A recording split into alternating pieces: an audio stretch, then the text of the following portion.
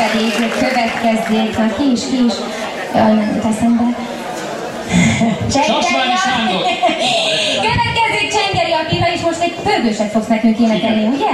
Pörögjünk egyet. Na. Van valakinek kedves Na most már muszáj táncolni, muszáj. Rockizni egyet? Van valakinek? Mindig ezt hogy van. Na. Hát Akkor szeretem. Esetleg egy-két táncosalvú kisgyerekkel szívesen táncolnék itt a színpadon, ha valakinek van kedve. Gyerekek, nem? Itt Így a csinálok. vissza nem térő alkalom. Alkalom, ugye, amikor levágják a Jössz? Gyere. Itt a Na. vissza nem térő alkalom. Nem, a következő dal, tegyük össze a címét, tehát egy, egy vendégek elszállásolására való viszonylag nagyobb, igen, és egy általános fehér színű fokrém illatanyaga. Ha ezt összerakjuk, akkor ugye kijön az, hogy Hotel Mentor.